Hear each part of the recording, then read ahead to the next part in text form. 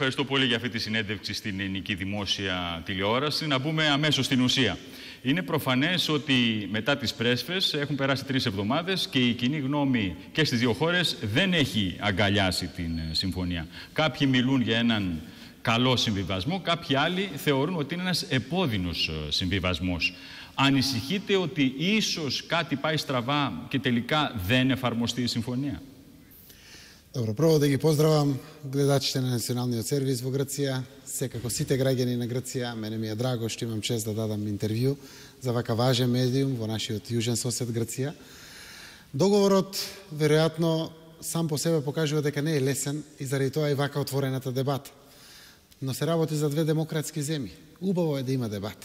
Дебатата на крајот ќе ја донесе вистината.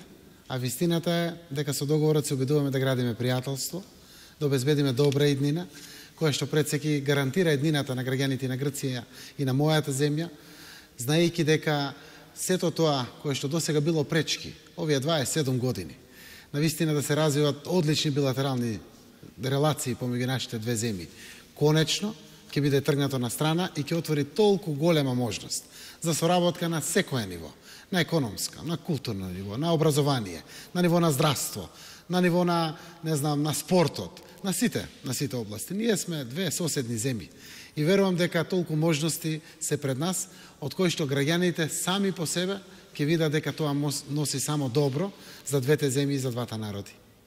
Ανησυχείτε όμως ότι κάτι μπορεί να πάει στραβά και τελικά να μην εφαρμοστεί αυτό.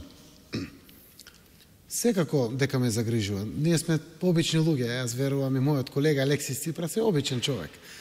А, да, тоа што не загрижува е дали процесите ќе ги стераме до крај. Заради тоа што нема дилема дека ние веруваме двајцата во оваа работа, како што веруваат и нашите двајца министри, господинот Никос и господинот Никола од наша страна. Но секако ние сме само слуги на народот. Граѓаните одлучуваат преку своите институции, Грција преку својот парламент, ние имаме овде и е, референдум, кој што е многу важен, за да може граѓаните за вака чувствително прашање, каде што се менува нашето уставно име, ја изразат својата волја. Јас сум убеден дека референдумот ќе успее. Јас сум знам дека нашите граѓани сакат пријателство со Грција. Јас знам дека нашите граѓани сакат да бидат интегрирани во Европската унија и во НАТО. Јас знам дека колку и да е болно и тешко прашањето, ние сепак ќе ја зграбчиме иднината, ќе ја прегрнеме иднината. Исто така ќе биде и во Грција. Јас знам дека тоа болно прашање за Грција. Не е така лесно. Јас ги разбирам сите луѓе кои што се и со критички осврт на ова прашање. Веројатно им треба повеќе време, за да сите сватиме дека тоа носи само придобивки за двете земји. Она која што за мене е многу исто така важно, и лидерите на грчкиот народ од опозицијата.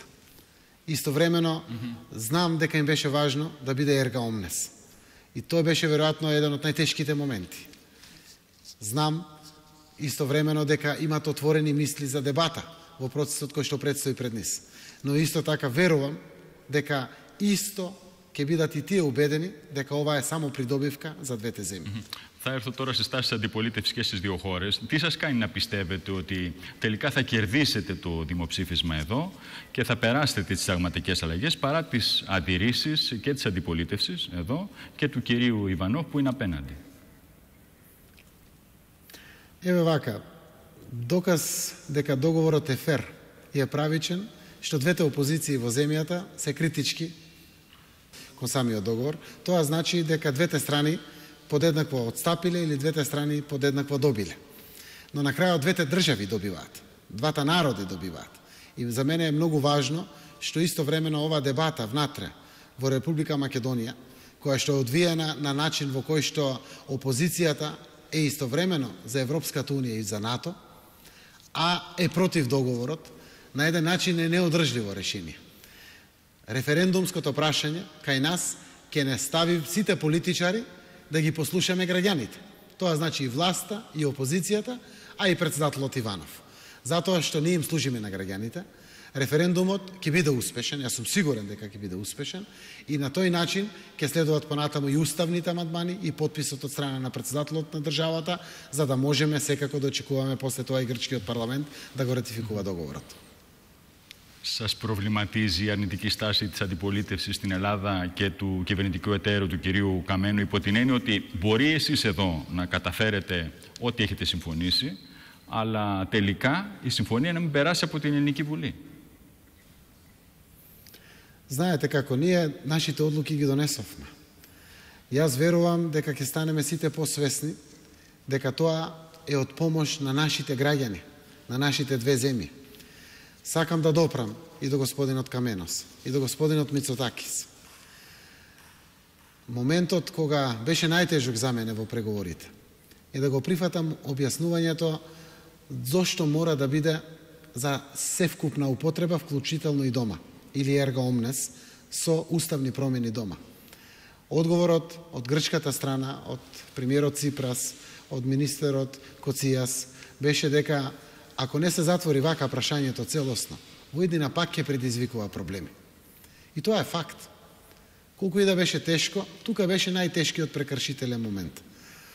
Треба да знаат и господинот Каменос и господинот Мицотакис дека добивме име со географска одредница за се вкупна употреба, дека се случи тоа да биде со уставни промени во Македонија, и дека истовремено не задира во она што значи посебност на северниот дел од Грција. Членот 7, точка 2 и точка 3 многу убаво ги разграничува хеленистичкиот дел на Македонија од нашиот дел. И во вакви аспекти, на вистина изразуваме целосна почит до грчкото наследство, да оние што се чувствуваат грчки македонци. Ние немаме проблем со таа работа. Ние тоа го почитуваме и сакаме на основа на тоа да градиме пријателство. Со меѓусебното разграничување на вакви идентитетски прашања, од идентитетот е чувство. Тоа со договор не може да се прецизира и да се договори. Прифаќајќи го делот на Ерго Омнес, верувам дека дури идентитетските прашања кои што се отворени на дебата, се заштитени во грчка страна. Сакам да допрам до нив, да ги повикам да го гледат од тој начин оваа прашање. Нашите aspiracije единствено кон Грција се туристички, пријателски. Βλέπετε, αναφερθήκατε και εσείς ο ίδιος στο πόσο ευαίσθητο είναι αυτό το ζήτημα.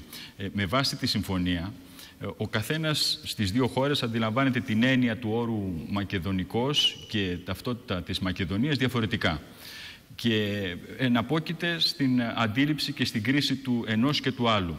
Και θα σας πω γιατί το αναφέρω. Ήμουν στη Θεσσαλονίκη ερχόμενος εδώ και μιλώντας με πολίτες νιώθουν θυγμένοι οι Μακεδόνες εκεί με τις αναφορές σας περί μακεδονικής αυτότητας γιατί δεν κάνετε την αναφορά στην σλαβική προέλευση όπως κάνατε τώρα. Значи, ние го прифаќаме хеленистичкиот македонски идентитет. И немаме ништо против тоа. И го признаваме. Тоа се веројатно наши пријатели кога сме присутни во Тесалоники, на, на Краците, во Халкидики, во Асправалта, во Лариса, на секаде кога сме присутни. И апсолутно јас верувам дека во ваквите моменти граѓаните и на северниот дел на Грција, во регионот Македонија, ќе го прифата тоа што ние искрено го мислиме. Ние сме со други идентитетски прашања. Ние не сме дел од хеленистичката македонска историја. Ние сме различни во рамките на овие граници, со нашата посебност, со нашата култура, со нашата историја, која што може само да се надополнува, таа не ја негира ниту една од другите култури. Земајќи го тој аспект, меѓусебното идентитетско прифаќање е придобивка. Ние на светот му покажавме модел како се решаваат идентитетски прашања. Грција треба да биде горда, оти јас сум горд, исто така, кога имаме еден ваков договор. Тоа е договор за пријателство. Јас сум убеден дека сите лидери во Грција, не само премиерот Ципрас, треба да гледат од позитивната страна. Чашата ја гледаме дали е полупразна или полуполна. Дај да гледаме дека е полуполна за да можеме да им дадеме да се напијат вода нашите граѓани, кои што досега со овој проблем имаа пречки во својата соработка. Во вакви околности, дури со нерешено прашање, ние имавме преку милиони и 200 илјади посети на Грција. А сме милиони и 600 илјади граѓани во државата. Пријателството постои меѓу нашите народи. Јас сум убеден дека ќе сватат сите. Многу брзо после завршувањето на целиот овој процес, дека носи само добро за двете земји и за, две, за двата народи. Να έρθουμε τώρα στο ζήτημα του δημοψηφίσματος. Πότε σκοπεύετε να το διενεργήσετε. Θα μας πείτε την ημερομηνία. А, ние чекаме на 12 да помине НАТО самитот за да почнеме да ги отвориме дебатите овде во парламентот и власта и опозицијата сите Веројатно ќе биде крајот на септември. Сакаме да имаме доволно три месеци после успешниот референдум кај нас следуваат уставни промени каде што со промените во Уставот дефинираме и комплетната промена на употребата на името во фазите онака како што е договорено во самиот договор. Така да референдумот ќе биде 23 септември, 30 септември или 7 октомври. Тие се датумите околу кои што ќе се донесе одлуката. Ε, και από εκεί και πέρα πείτε μας για το χρονοδιάγραμμα. Πότε θα ολοκληρωθεί η διαδικασία, θα ολοκληρωθεί αρχές του Ιανουάριου, ε, το Φεβρουάριο, πότε σκοπεύετε να ολοκληρώσετε τη διαδικασία για να μπορεί μετά να ακυρωθεί από την Ελληνική και τη δικιά σας τη Βουλή. Цел, целта која што ја поставивме кај нас е 15 јануари. Ако биде порано, тоа е добро. Дури сакаме да ги завршиме пред божикните празници кои што се слават дури и пред нова година. И во, во тој аспект затоа оставаме некои три месеци. Согласно нашиот устав и законите, ни се потребни некои стотина дена. Затоа 15 јануари поставен. Со успешниот референдум, јас сум убеден дека сите во парламентот ќе го послушат народот што кажува на референдум и така ќе гласат. Mm -hmm. Тоа денеска го добиваме како порака дури од председателот на државата, господинот Георги Иванов, дека ако референдумот е успешен, секако и тој ќе ги подржи и договорот со Грција и сето она што е следна фаза, а и опозицијата исто така. Секако се има различни ставови, тоа е демократијата, но после референдумот кај нас се уставните промени, почекуваме грчкиот парламент да го ратификува договорот кој што го направивме двете земји, а после тоа да постои да продолжи ратификацијата на протоколот за членството во НАТО. Θα έχει δεσμευτικό χαρακτήρα το δημοψήφισμα, κύριε Πρωθυπουργέ. Да. Резултатот од самиот референдум ќе биде образувачки за сите во парламентот, за сите институции во државата, затоа што кај нас успешен референдум значи 50% плюс еден гласач да излезат на гласање, а резултатот да биде образувачки за сите. И сите се согласуваме со тоа. Ние сме демократска земја, народот не бира и мораме да служиме на народот. Народот убеден сум дека ќе биде за договорот со Грција, заради тоа што прашањето веројатно ќе биде дали сте за Европската Унија и за НАТО и за подршка на договорот со Грција. Веројатно во тој правец ќе биде, заради тоа што едно со друго кај нас е и поврзано. И од таков аспект граѓаните кои ќе ќе го дадат својот глас, политичарите, владата, парламентот, председателот на државата сме должни да го почитуваме. Или, може би, прашањето ќе биде дали сте за Европската Унија и НАТО, подржувајќи го името Република Северна Македонија. Заради тоа што тоа е договорот. Верувам дека граѓаните ќе бидат целосно позитивни. Πότε θα, με βάση τη συμφωνία, θα ισχύσει η ονομασία Δημοκρατία της Βόρειας Μακεδονίας. Па со ратификацијата на договорот во Грција тогаш е ратификуван од двете страни и тогаш стапува на сила. Тоа значи дека ние ќе бидеме Република Северна Македонија со Грција, со Бугарија, со сите наши соседи, со сите земји во светот, со сите меѓународни организации, со уставните промени, како ќе ги отвараме поглавијата во Европската Унија, така ќе го употребуваме веќе и дома, затоа што секое поглавје допира до сите институции и употребата по полека ќе навлегува дома. Со тоа на еден начин и Грција ќе ни помогне побрзо да одиме со поглавијата, е и побрзо и дома да биде употребата. Со полноправното членство во, во Европската Унија, ние очекуваме да биде не подоцна од 2025 година, комплетно и за дома и целосно за надвор, ќе биде Република Северна Македонија. Την ερχόμενη εβδομάδα διοργανώνεται η Σύνοδος Κορυφής του ΝΑΤΟ στις Βρυξέλλες. Έχετε προσκληθεί εκεί. Ποια είναι η διαδικασία, θα λάβετε πρόσκληση ένταξης. Ние очекуваме да ја добиеме поканата од НАТО, каде што официјално и ќе почнат а, а, предпристапните преговори, accession talks. И тоа ќе трае се до јануари 2019, додека очекуваме да завршат процесите во Македонија со референдумот, да завршат процесите со уставните промени и ратификацијата на договорот во Грција. Веднаш после тоа почнува втората фаза на поканата за членство во НАТО, а тоа е ратификацијата на договорот во земјите членки, Јас се надевам дека Грција ќе биде првата земја членка на НАТО која што ќе го ратификува тој, тој договор, откако секако и кај нас дома ќе се исполнат сите очекувања. Στην Ευρωπαϊκή Ένωση, σχετικά με τι ενταξιακέ διαπραγματεύσει, δεν είναι ξεκάθαρα τα πράγματα για τη χώρα σα, παρά τη στήριξη, όπω αναφέρατε και εσεί, του κυρίου Κοτζιά, λόγω των αντιρρήσεων χωρών όπω η Γαλλία και δευτεροβόντω η Ολλανδία. Θα θέλατε κάτι παραπάνω σε σχέση με τι ενταξιακέ διαπραγματεύσει από την πλευρά των Βρυξελών εν ώψη του δημοψηφίσματος. Јас сум целосно задоволен, а и нашиот народ е задоволен со добивањето на датум за преговори јуни 2019 година. Тоа е фер, знаејќи дека Европската Унија има избори на Европскиот парламент. И во едни вакви околности, знаејќи дека ние имаме и референдум да спроведеме во Македонија, имаме доволно време да се подготвиме со, пред, со скринингот, кој што е пред фаза на отварањето на поглавијата, подготовката на преговарачките тимови и некаде во јуни да почнеме да ги отвараме, јуни 2019 година, да ги отвараме првите поглавија. И тоа е возможно благодарение на нашите пријатели. Првиот нов пријател, Грција. Заедно со Бугарија ја убедија Франција. Секако јас сум благодарен на сите земји членки за добивањето на датум за преговори за Македонија и за Албанија, но благодарение на Грција и на Бугарија, две наши земји соседи кои што се членки на Европската Унија, се обидоа да останатите 26 земји членки, посебно Франција и Холандија, да го убедат дека заслужува да добиеме датум за преговори, оти ние реформите ги имаме дома завршено, добивме безусловна препорака, кристално чиста препорака, договорот кој што го постигнавме со Грција на вистина беше поздравен и од Советот на министри и од Европскиот совет и потврден како добар модел на европски манири, на европски однос, на европско лидерство, Тоа што го покаже еден премиер на земја членка на Европската Унија, премиерот Алексис Ципрас, е европско лидерство, европски манир, европски однос во целиот овој дел. Заедно со нас во решавањето на вака чувствително прашање е само доказ кој што е вреден за Европа. Ние верувам дека испративме убава порака до Европската Унија. Затоа знам дека Европа ќе биде многу позитивна и према нас, а ќе биде позитивна и према Грција. И од ваков аспект ја само едно ќе кажам. Веројатно се погодивме двајца луѓе, и јас и мојот пријател Алексис, да многу си ги сакаме нашите земји. Тоа сакање оди до таму да не се важни нашите политички кариери. Важна е едината на нашите земји. Јас се препознав таа љубов кој што Алексис Ципра се има за Грција. Чувствата кои што владеат во северниот дел на Грција, во регионот Македонија, тој ги знае. Неговиот дедо е од Кавала – Тој ги чувствува. Ги отвори комплетно. Ние разговаравме за суштини.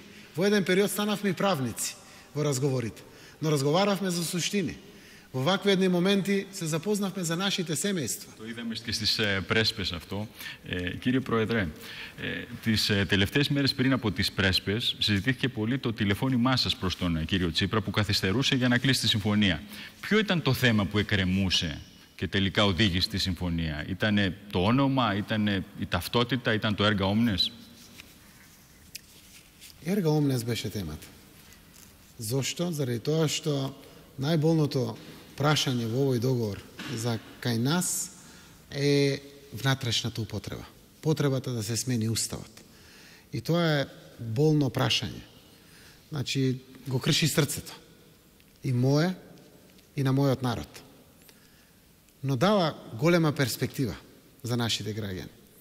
Создаваме еден нов пријател, наш јужен сосед, со кој што треба да имаме огромно пријателство.